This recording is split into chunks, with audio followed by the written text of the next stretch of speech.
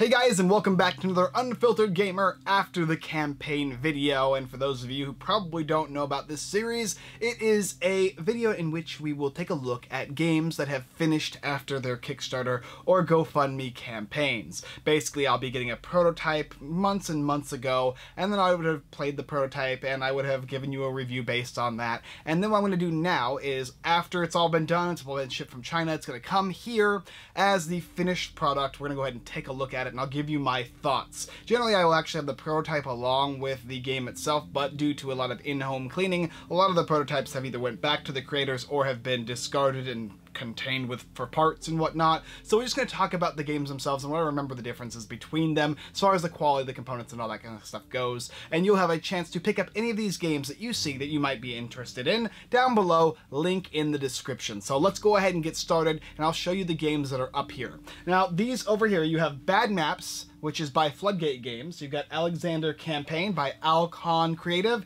as well as Ironclad, Mercenary Battleship, Icaion, and uh, Mysthea, and this one's by Tabula Games.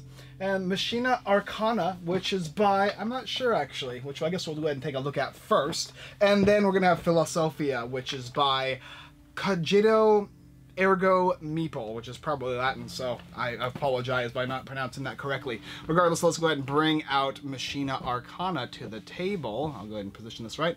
And as you can see, this is the full finished version of the game. We got a prototype of this one, and the prototype was actually very, very nice. So we're gonna go ahead and take a look. I went ahead and basically opened these guys up. I haven't played any of them except for Mysthea and Bad Maps, but uh, as you can see on Machina Arcana, this has got one of those like Uh, raised portions here on this little edge here, this little line here. It's very nice. The quality of the box is very, very sturdy. Really, really well done.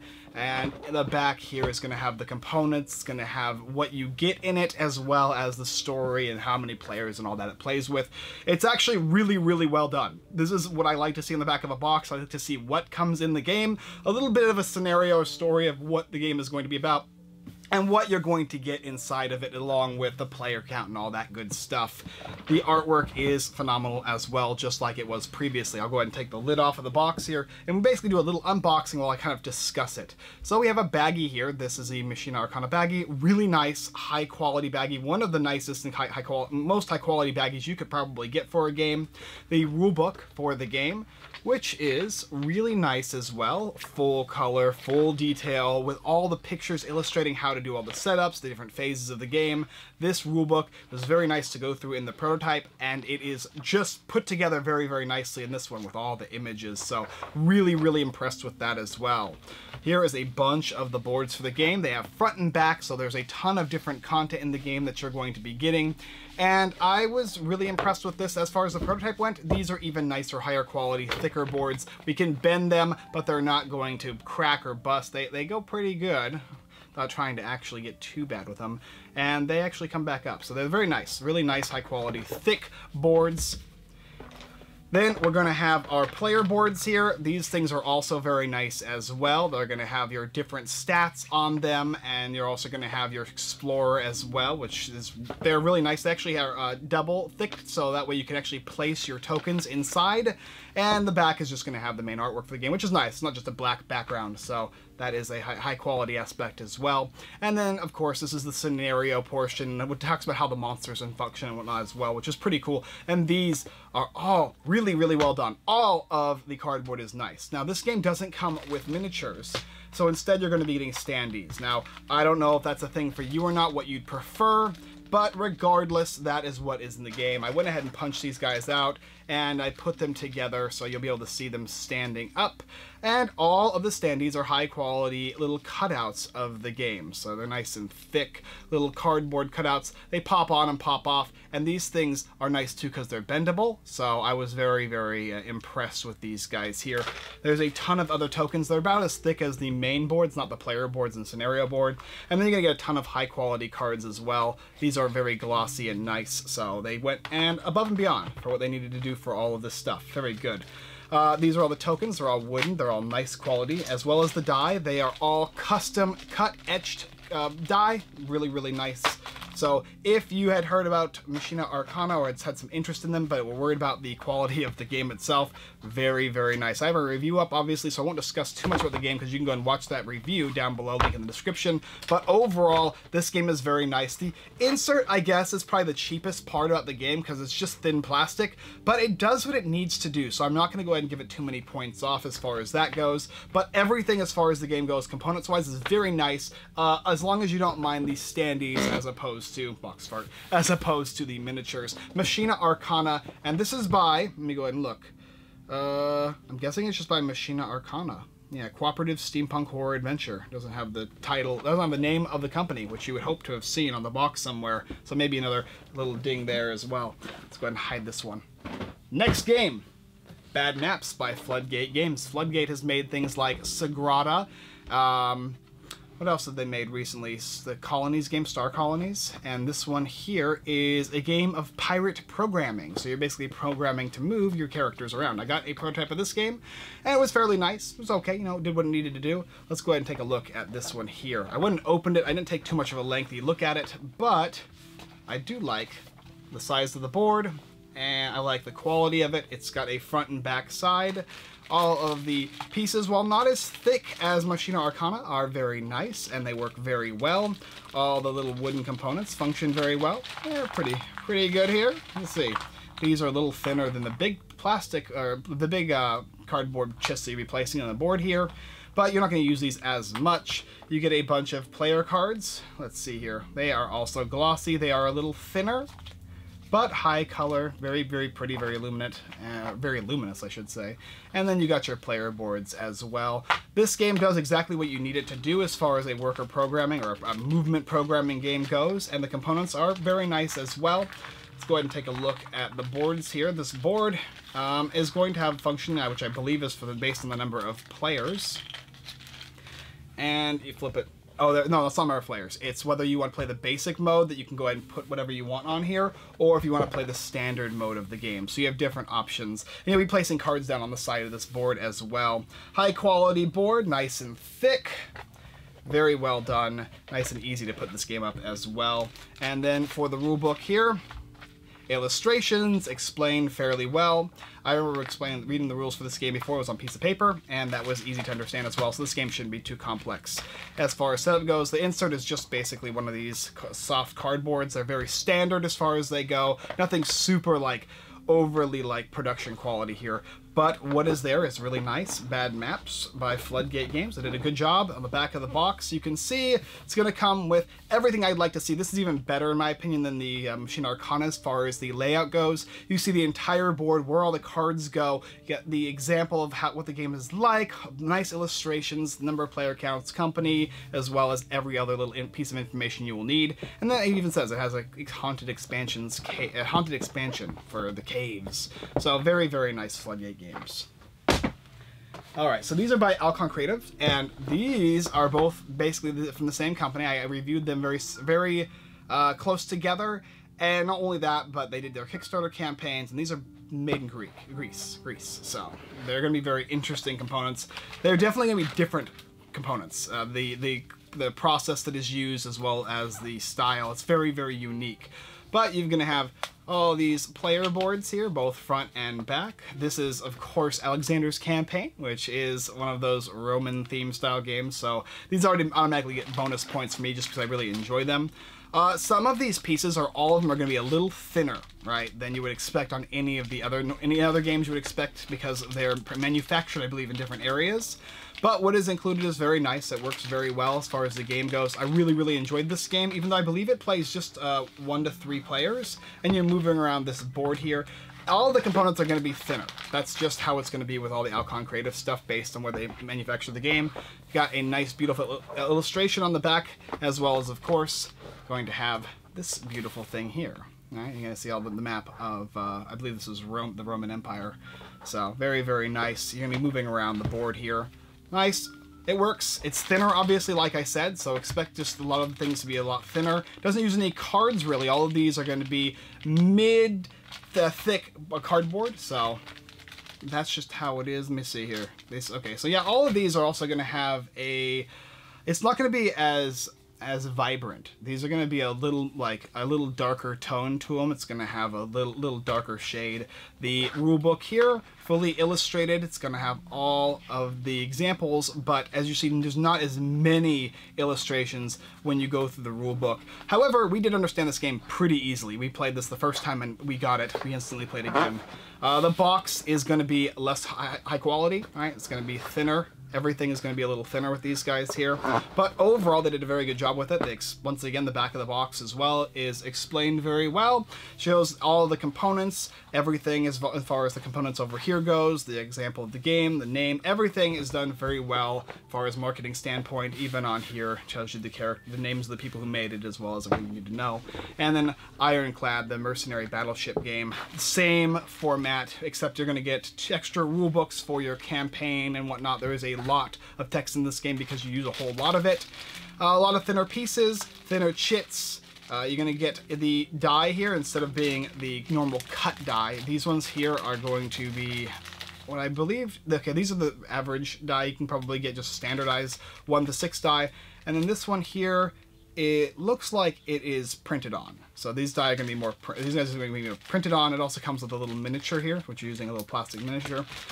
And then you're also going to get uh, the board for your ship. So you'll be getting this little board for your ship that you'll be utilizing as well. So everything, like I said, is just thinner quality, but it's also, I believe, manufactured a different way. None of this is unplayable. It works very well. Everything is illustrated very nicely. This uh, looks like the printing is uh, definitely a little more vibrant on this one, but it still has that same feel, less gloss and some extra little stuff to talk about. Regardless of both of these I reviewed as well, and you can find reviews of them on my channel link in the description below, along with, of course, Bad Maps. Another really good job explaining the game. This is a really nice example of how to do a back of a box so you can see everything very well. So very, very impressed with their ability to communicate what their games entail.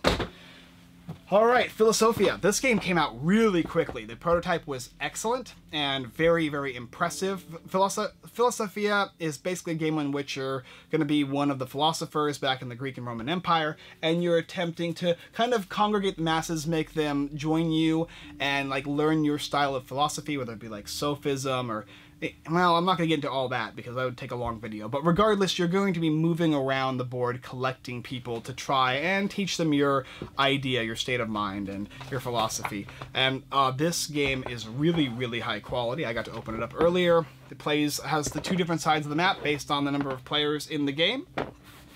Very well done. Very easy to understand where everything goes and where you're going to be going on the map. It's going to have this big, illustrious rulebook as well. There is not as many as, as far as illustrations go, but what is there for the important parts is what matters, exists. Actually, yeah, this one actually has more. It looks really good. Explains all the different components and pieces and whatnot. Has the philosophers and what they believed in, so you get a bunch of extra historical, like, uh, interesting historical context to the game.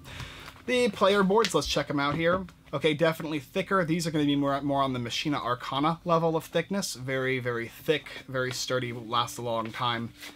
And then I believe they're also front and back as well. They are. They are all front and back. They use this game uses up a lot of uh, its space to make sure you can you get you get uh, everything you can get for what you're paying for. So a lot of different replayability. Syllogism cards, also thick, nice. They're thinner cards. Uh, also, yeah, a little thinner here as well. A lot of cards in this game. The tokens here as well are going to be your average standard uh, tokens, and these are going to be all well done, front and back, which is very, very nice. The basic insert, like I said, just like most games, is going to be this like little thin cardboard insert where you can put everything in. And don't forget, we're also going to get miniatures to the game. Miniatures are very, very well detailed, very nice. You'll be placing them on the board and moving them around. These are going to be basically your characters, and also these thick boards as well. So everything very, very nice. Thick cardboard, thick tokens. Wooden, these wooden pieces are very nice as well. You'll be placing them on the board. I really, really enjoyed this game personally. It's another one of those games that I really like the theme of, so I'm, I'm probably a little biased on it but overall, really, really well done. All of the artwork and illustration is beautiful, and the board is very nice and historically accurate as well, which I really do appreciate. And of course, the front of the box, beautiful. It's also got its raised text and, and, and some other little things that are raised, as well as the uh, back of the box here. And the back of the box is going to have, it does a pretty good job. It explains everything that's in the game. It shows the different characters. Uh, it's also got all the contents of it. Uh, yeah, it looks really good. As far as the number of players, I think it's just going to be on the main side of the box. It's just kind of a little more minimalist on this, but it does give you all the detail you'll need. I'd probably like to see a little bit more about the game than just the one or two sentences that are on here. I actually prefer to see a lot more. But overall, it does a very good job. Philosophia, eh, Dare to be Wise, a game by, oh, let's try this again, Cog Cogito Ergo Meeple. I'm going to look that up and see what that means. My last two games up to talk about. I got two big ones here. Mysthea and Icaion. Mysthea, this is my, these are my Tabula games, and they play two to five players each. And what's unique about these, there's a lot of things unique about these, but we're to go uh, rather quickly with these bad boys because there's a whole lot in these. Uh, first of all, it has a lot of little interesting, unique surprises on it. I don't know if you can see that there, but it's a unique spoiler for Icaion, the game that's coming up. So whenever you get at one of their games, you get to see kind of what's coming up next. All their games work together in some way. So if you have one, if you have Icaion and you have Mysthea, you can actually play a unique style game mode. All of the pieces, all the boards are very, very thick, very, very nice, very, very well illustrated. They did a very good job of this game. It's also raised. It's got that like shine to it as well main board. Also beautiful. You know exactly where to put everything. Just when you pull this board out, you know exactly what it looks like, or what, what this and where everything goes. Just by like, oh, okay, well, obviously these are going to go here. Now, you don't know the exact full setup, but it becomes very clear with how they make their games. It's very similar. It's like how Stegmaier does his games in a lot of ways. You kind of know what the game's going to look like when it's fully set up and where all the pieces are going to go. Same thing with Tabula games. They do a very good job of illustrating that. Then you're going to have a bunch of these boards here. These are going to be the error boards. They give you all the information you need. Huge, big player references, which are very nice. These games take up a lot of table space. That's just how they function, so you have to have table space to play Icaion and Mysthea. But they're not uh, Icaion's probably a little bigger than Miss Mysthea. Regardless, it's got a bunch of miniatures that come with it. It's a very nice little bag here as well. Probably not as nice as the first bag I showed you today, but very nice regardless. Cards are very nice, as well as all of the tokens are very nicely cut, and uh, they show you know exactly what the differences between all the tokens are. The bases that illustrate the different characters that you'll be playing with, and whose characters are going to be whose. And then, like I should show you here, these are all the miniatures in the game. There's a ton of miniatures. You're going to have a ton to choose from. There's a bunch of monsters you'll be dealing with throughout the game. This is an area control style game, but they did a very good job with these guys here. Very, very impressed. High quality, high detail. They always do a good job in Tabula games as far as making their miniatures go and the quality of their components. I'm a big fan of these guys. I think that a lot of their games are very, very cool, very, very interesting. And I think Icaion is probably going to get one of my top games of the year. I'm going to have to play it a couple more times first before I fully cement myself on that opinion, but from what I've played via the prototype and how these guys have come out and everything, I'm very, very impressed. They did a great job has all the information on the front, on the sides, and then on the back of the box. It also does an excellent job. It gives you a bunch of the artwork, which is very nice, as well. It gives you what the board layout looks like, all the characters, gives you a little bit of uh, ex explanation how the game plays, and all the components overview, which is nice. And I don't think it needs any other information because it's all over the box otherwise. But yes, Mysthea, very, very, very nice. Very, very good job. Icaion. The last game we're talking about by Tabula Games, this one here plays two to five players as well, and they all both, both basically take 90 to 120 minutes. Comes with beautiful content. I'll just show you one of the rule books here. Has all the illustrations you'll need, as well as numbered setup, a full board illustration of how the game is set up, and just goes into beautiful detail. There was only one super small nitpick I had before even playing this game is one of the characters in this game is is like a half of a character, and that's because it attaches to another one of those main characters. And I'll show you when we pull it out. But yes, the rule book is very, very beautiful. The board looks just like Mysthea, but it plays differently, very, very differently. It has front and back as well. So as you can see, beautiful board. It fills up the entire table. It's really, really nice. Really, really high quality.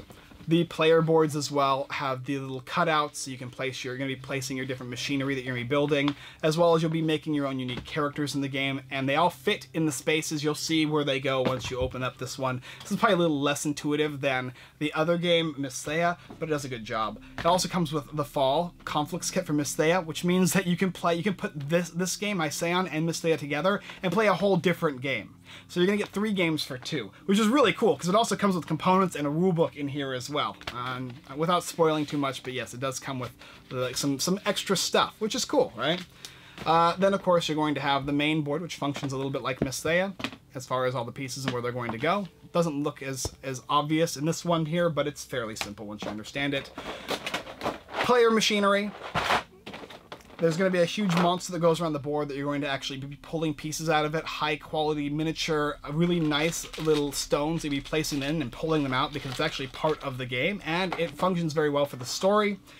And of course, high quality cards, the, the, standard gems you would see at like Amazon and whatnot, and then a bunch of really cool miniatures. These miniatures are high quality, just like Mysthea, very, very well done. And of course, some crazy little, what are these guys? They're like like aliens that are gonna be placed on the map that you have to deal with when you when you fight them. And here, I'm going to show you this. This is one important thing I noticed. You pop this little guy off here, and you can stick this in here. There's only one place in the rulebook it's illustrated, illustrated, so it took me a while to figure that out. But now you know. So now you'll be aware. That's that is what this character does. Basically, when he gets hurt, he loses his armor, or she loses her armor, and she becomes kind of naked. So, regardless though, really, really high quality game. All the components are very well detailed, all the miniatures are nice and colored, and very easy to tell the difference between the colors of the characters, as well as where to put everything. This one does a pretty good job. Probably better than Mysthea as far as where you need to put things. Let's see if I can actually put this like that, like that. And overall, an exciting game. This is beautiful as well, illustrated very, very nicely. It's got the different pieces that are not only upscale, but also has that glossy finish. And then on the back of the box, once again, has a pretty good idea of what you're going to see on the game. Could probably use a bigger board, I suppose. All the different miniatures, the story of the game, and the components does a great job. Feels just like Mysthea. And they both have, they're in the same world, but they play differently, and they're both connected in more than one way, which is really, really nice. The Tabula Games did a very good job of these these games, Mysthea and Icaion. So if you're interested in any of these games and you want to take a look after the campaign, these games are all now available for purchase, go ahead and hit the link down below in the description and you can see for yourself the high quality of these games. All of them have been better than their prototypes, obviously. Very, very well done illustrated beautifully. I was actually, none of these games, like normally some of my other, after the campaigns, I was, I was like unhappy about how they came out, and these all did an excellent job. Obviously some have better components, and not better, but um, more, more high quality components than others. That's probably gonna be based on budget and choices made, but overall, all these games would be a solid buy for any of you that want to pick up any of these games that you see. All right, thank you so much for watching our After the Campaign video. We've got a couple more of these to produce, probably be producing one of these a week until I get all of these caught up. It's got a lot of games to show you, but do go ahead and take a look in our playlist here to see the rest of the After the Campaign videos. And don't forget to check out our other playlist, Callie's Corner. We'll be having her produce more content. You'll get to see some of her reviews coming out, as well as some interesting new informative videos. So thank you guys. All right, check out the website unfilteredgamer.com. We're making it, revamping it, tons of new stuff headed your way. Hit up our Patreon and go ahead and hit up our live streams every Wednesday, 6.30 p.m. PST, where you can see us play games just like these ones down below. All right, guys, thank you so much for watching. And as always, I look forward to seeing you guys next time.